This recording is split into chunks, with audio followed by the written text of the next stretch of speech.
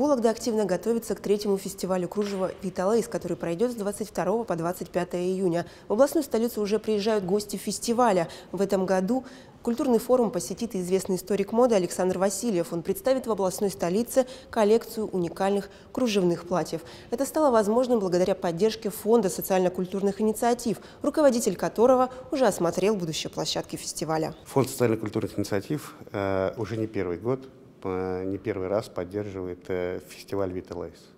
И мы рады возвращаться в Вологду, рады видеть э, волокжан и, конечно же, хотим привести им замечательную коллекцию. В прошлые годы мы привозили э, коллекцию Юдашкина Валентина Абрамовича. В этот раз мы привезем коллекцию Александра Васильева, историка моды. Коллекция будет порядка 40 работ. Это платья из периода конца 19-го, начала 20 века. И обязательным условием этой коллекции будет присутствие кружев в самом костюме. Александр Васильев э, приедет на открытие выставки. Э, и единственный момент, что выставка э, с самим Васильевым будет открыта чуть раньше, чем сам фестиваль.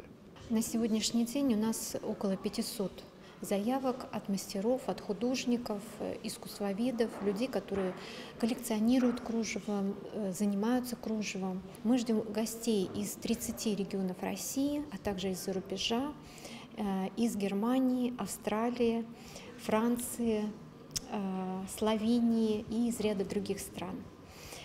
Сейчас идет очень активная организационная подготовительная работа и э, надо сказать, что в этом году мы даже немножко меняем формат и концепцию фестиваля. А, в рамках фестиваля состоится дефиле модных коллекций с использованием кружева, ручного кружева, машинного кружева. Мы приглашаем дизайнеров из Москвы и Санкт-Петербурга. И а, даже есть договоренность предварительная с молодым дизайнером из Италии. Сейчас тоже мы ведем переговоры, чтобы показать ее интересную коллекцию. Приезжали, например, а, представители бренда Ульяна Сергеенко. Это довольно известный дизайнер, а, который работает с вологодским и елецким кружевом. Если вы вспомните, что в ее наряде выступала певица Бьонсе в кружевной накидке, которую она разрабатывала и заказывала именно в Вологде. Э, так что у нас есть договоренность с этим брендом, что мы покажем а, ряд костюмов э, в музее кружева в Вологде во время фестиваля. Конечно, в этом году, во время кружевного фестиваля, мы не обойдем вниманием и массовую акцию. Она состоится в Вологодском Кремле, и будет она называться «Аллея кружевниц». И, собственно, э, мы делаем, чтобы наши посетители этой акции могли вживую пообщаться с кружевницами, попробовать получить свой самый первый мастер-класс кружевоплетения. Важно, что э, на этой акции «Аллея кружевниц» будут принимать участие не только вологодские кружевницы, но и мастера из других регионов и из-за рубежа. И они покажут, как выполняется кружево у них, какие есть нюансы, какие есть новые технологии какие ниточки они в конце концов используют.